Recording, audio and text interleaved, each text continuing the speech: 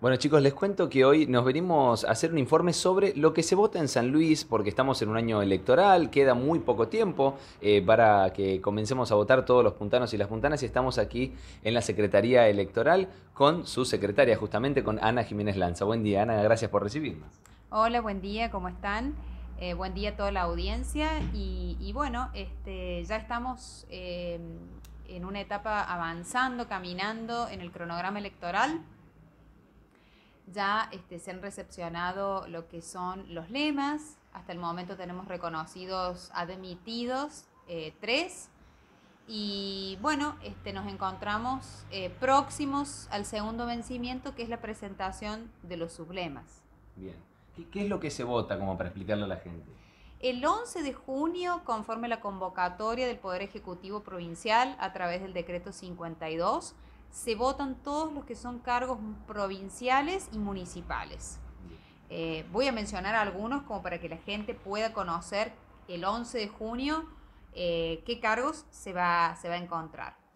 Eh, bueno, se elige gobernador y vicegobernador, se eligen senadores, un titular y un suplente en los departamentos de Juan Martín de Pueyrredón, Chacabuco, gobernador Dupuy, Junín y Pringles, diputados provinciales 10 titulares y 10 suplentes por el departamento Pedernera, eh, por el departamento Ayacucho 4, por el departamento Chacabuco 4 y en San Martín 3. Intendentes municipales en muchas localidades, en San Luis, en La Punta, en el Volcán, Villa Mercedes, Justo de Arac, Candelaria, Santa Rosa, Villa de Merlo, Carpintería, San Martín, Buena Esperanza. Eh, consejos deliberantes, es decir, los cargos de los concejales, se eligen eh, titulares también y suplentes en San Luis, en Juana Coslay 7, en La Punta 2, Potrero de los Funes, El Volcán, Villa Mercedes, em, Tribunal Contralor, Justo de Arac, La Toma, El Trapiche, Concarán, Tirizarao, Quines, San Francisco, Luján, Candelaria, Santa Rosa, Villa de Merlo, San Martín, Buena Esperanza, Unión y Los Manantiales. Intendentes comisionados también son muchos. Eh, recordemos que el intendente comisionado tiene su suplente también. Eh, en Valde, en Alto Pencoso, en Sanjitas, Alto Pelado, San Jerónimo, Estancia Grande, La Carolina, Saladillo, Fraga, La Baice, San José del Morro, Juan Llerena, La Punilla, Juan Jorba, San Pablo, Papagayos, Villa del Carmen, Villa Larca, entre otros. Eh, ¿Quiénes son los que pueden votar? Bueno, todas las personas que se encuentran en el padrón, incluidas a partir de los 16 años pueden votar.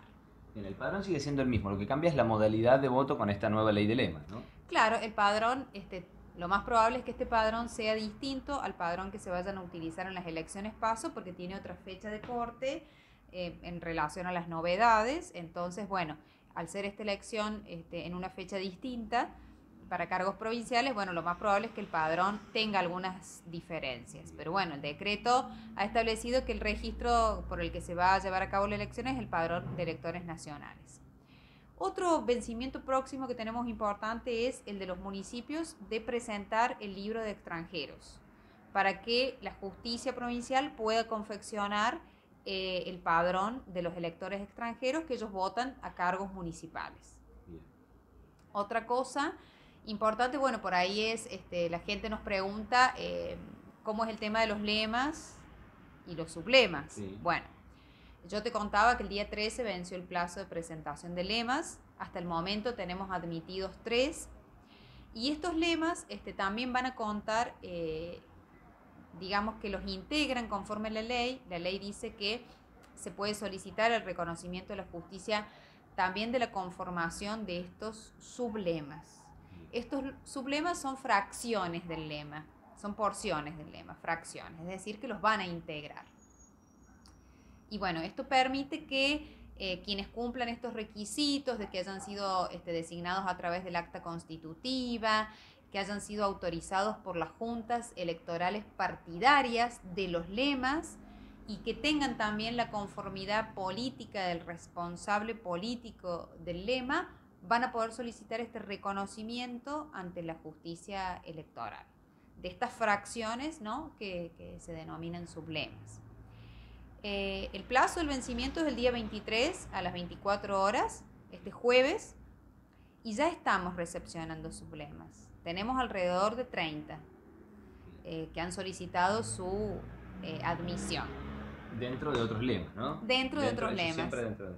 Exacto. ¿Y qué pasa, por ejemplo, si hay aquí en la ciudad de San Luis? Tenemos varios candidatos a intendente, aunque incluso pueden llegar a ser del mismo partido. ¿Cómo le explicamos a la gente eh, estos van a estar dentro de un mismo lema o dentro de un mismo sublema? Los intendentes, por ejemplo. No, los candidatos a intendentes van a estar dentro del mismo lema, no del mismo sublema. Este, no hay sublema del sublema, sino que dentro del lema se establece que va a haber varios sublemas. Eso por lo menos establece la ley.